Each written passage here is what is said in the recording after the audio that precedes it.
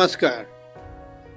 हामी आज पुनः भेला भएका छौँ। तपाईँहरू उत्सुकताका साथ बस्नुभएको छ मलाई थाहा छ। हिजोसम्म मैले गणेश मान्जीको कथामा गणेश मान्जीलाई पक्रेर लिएर गएको। उहाँ लगायत बत्तिसजना उहाँका मित्रहरूलाई जो प्रजा परिषदका सदस्य हुनुहुन्थ्यो उहाँहरूलाई सरकारले समातेर लग्यो र सिंहदरबारमा राख्यो।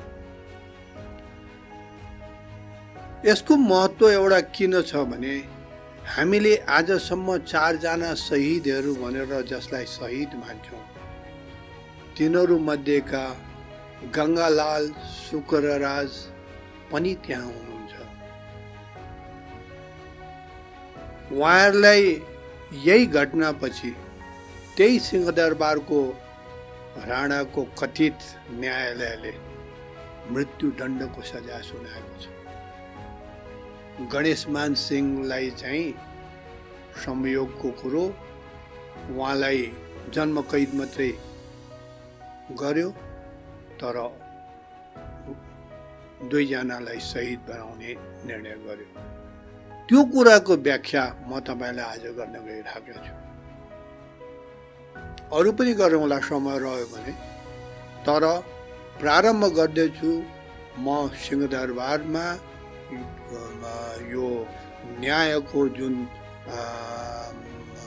अड्डा बसेको थियो त्यो अड्डामा कसरी उनीहरूले न्याय दिए भन्ठान्थे यता स्वतन्त्रताका सेनानीहरू यता क्रान्तिका ज्वालाहरू आफ्नो कुरा दलिलहरू अगाडि सारिरहेका थिए र यो अन्याय गर्न पाउँदैन तिमीहरू तानासाई हो भनेर लड्कारिरहेका थिए। र त्यो लड्कार एकातिर राणाले सहन सकिरहेको थिएन भने अर्कोतर्फ यी योद्धाहरू यी सङ्घर्षका प्रतीकहरू यी हाम्रा महापुरुषहरू आफ्नो इरादामा अटल थिए पहिला लिएर गयो गङ्गालाललाई उहाँसँगै हरिकृष्णजी पनि हुनुहुन्थ्यो गङ्गालाललाई भयङ्कर यातना दियो राणाले यति यातना दियो त्यसको ठेगान छैन गङ्गालाल बिचरा सुकोमल शरीर सानो उमेर चिटिक्क परेको राम्रो व्यक्ति भद्र व्यवहार त्यस्तो गर्ने व्यक्तिलाई पछाडि हात बाँधिएको छ बाँधेको हातको भित्र नोल छिराइएको छ अनि त्यो नोल दुईतिर दुईटा सिपाहीले बोकेका छन् त्यहाँ माथि अर्को सिपाहीले कोर्रा हानिराखेका छ त्यतिले पनि नपुगेर नेपालको तिन ताकाको पहलमान भनिने नरशमशेरले के कुरामा चित्त बुझेन कसेर एक मुक्का हान्यो। र यसरी ढल्नुभयो गङ्गालाल कि त्यसको वर्णन गर्दै गरेका हरिकृष्णजी स्वयं एकछिन स्तब्ध भए। र गणेश मान्जालाई बताइरहेको कुरा भन्न सकेनन्। भक्कानो छुटिरहेको थियो उनको उनले एक करुवा पानी खाइसकेपछि बल्ल होस आयो र पुनः त्यसलाई एउटा चस्मदित गवाहको रूपमा गणेश मान्जलाई उनले भने गङ्गालालको अवस्था कस्तो थियो अरे भनेदेखि गुलेली लागेको एउटा भँगेरा जस्तो। छटपटाएर भुइँमा खस्छ उसको चुच्चो भुइँमा गाडिन्छ र्याल काट्छ मर्नको लागि छटपटाइरहेको छ बास त्यस्तै अवस्था थियो गङ्गालालको। त्यो सुन्दा गणेश मानजी पनि भित्रैबाट अत्यन्त दुखित पनि होइन उहाँ मर्माहत मात्रै पनि होइन उहाँलाई पनि एक किसिमको डर डरले भयले घर गर्न थाल्यो। बस त्यो देखेपछि त्यो देखेपछि गणेश मानजी आफ्नो पुस्तकमा भन्नुहुन्छ म यो काठमाडौँ सहरको यत्रो नामुद व्यक्ति जसको नाम लिँदा सिङ्गो सहर थर्किन्थ्यो आज म ती सिपाहीहरूले गरेको दर्दनाक यातना सम्झिँदा म आफै थर्कमान भइरहेका छु। मेरो खुट्टाहरू काँपेको अर्काले नदेखा तापनि म भित्रभित्र काँपिराखेको छु। डरले मेरो भित्र यस्तो त्रास उत्पन्न गरेको छ। मानौ त्यो डर भूत हो। यो भूतको रूपी डर मेरो मनमा बस्यो। अनि मनमा नै मैले भने ओहो गङ्गालालजीले जुन दुःख पाइरहनु भएको छ जुन पीडा पाइरहनु भएको छ जुन यातना पाइरहनु भएको छ त्यसको कारक त म हुँ। किनभने हिजो पुलिसले पक्रेन भनेर जाँदाखेरि मैले उहाँलाई नै किन डराउनुहुन्छ जानुहोस् अगाडि बढ्नुहोस् भनेर मैले भनेको हुँ। उहाँलाई भगाइदिन सक्थेँ म। तर उहाँलाई भाग्न नसक्ने अवस्थाको सृजना गरिदिएँ मैले र जानुहोस् हिम्मत गर्नुहोस् के गर्छ त्यो राणाले समातेर भनेर भनेको थिएँ। यद्यपि उहाँलाई पनि भोलिपल्ट समात्यो। तथापि उहाँ के भन्नुहुन्छ भने गङ्गालालजीलाई यदि मैले भगाइदिन सकेको भए यो मारबाट त उहाँ बच्नुहुन्थ्यो। त्यस हुनाले उहाँ अत्यन्त एउटा पश्चातापको अवस्थामा हुनुहुन्थ्यो। तर पनि जे हुनु भइहाल्यो गङ्गालाललाई उहाँले संयोगले भेट भयो। गङ्गालाललाई राणाहरूले सजाय सुनाइसकेका थियो मृत्युदण्डको।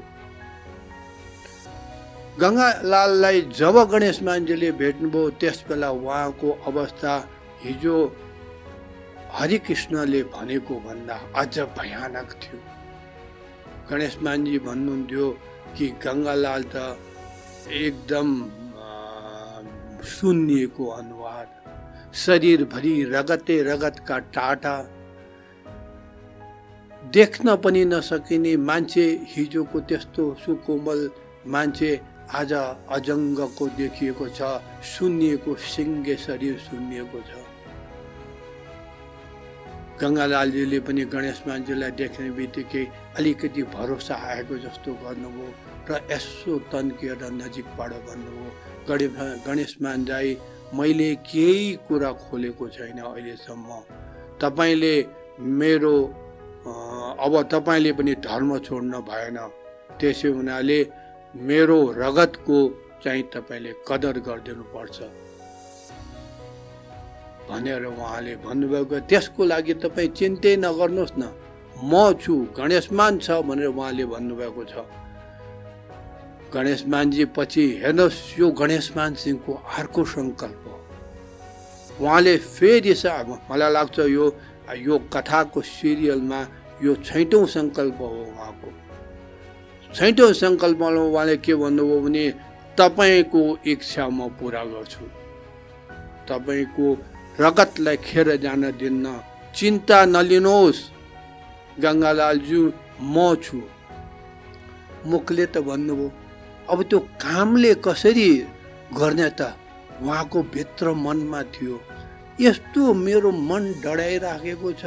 मैले गङ्गालाल जस्तो वीरलाई दिएको शब्द मैले पुरा मैले वाक्य मैले चाहिँ सार्थक बनाउन सकिनँ भने धिक्कार छ म के हुन्छु?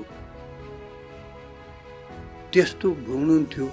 त्यसो हुनाले त्यो अवस्थामा गणेश मान्जीलाई पनि बयानमा लिएर गयो।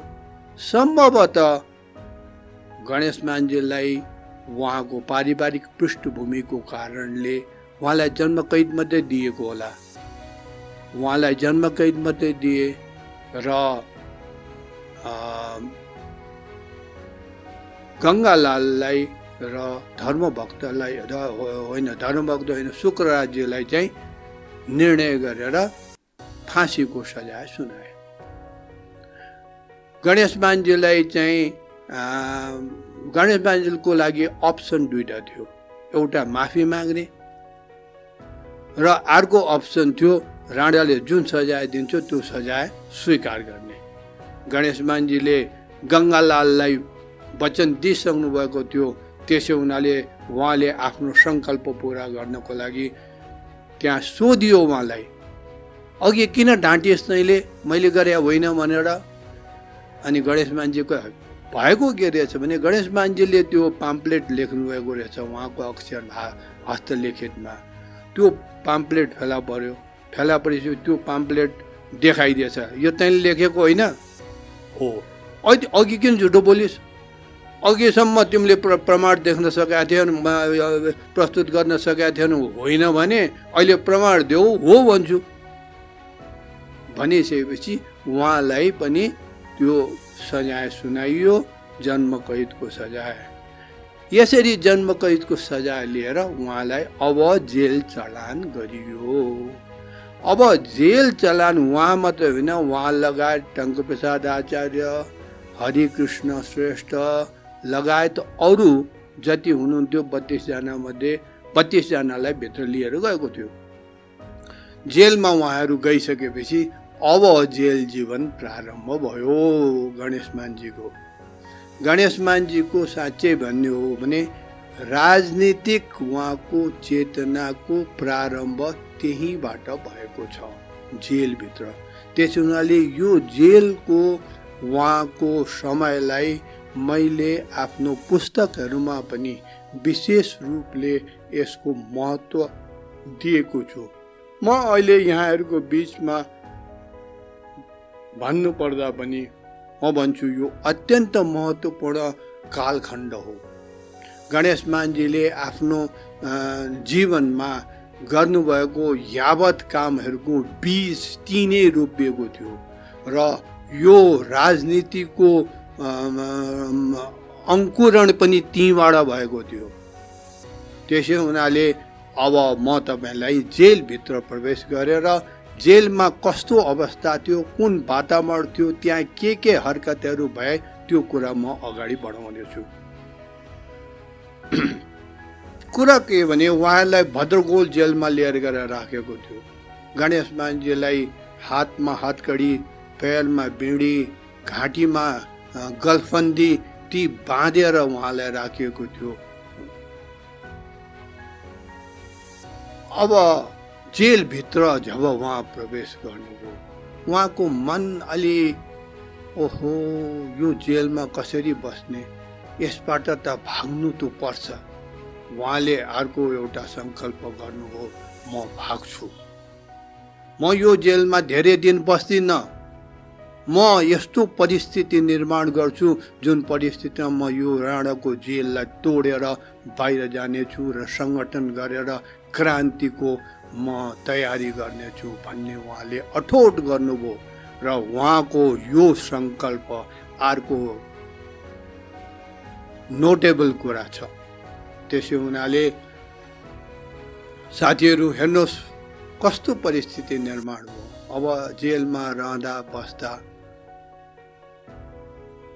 मैले मेरो पुस्तकमा पनि र विश्लेषण गरेको छु।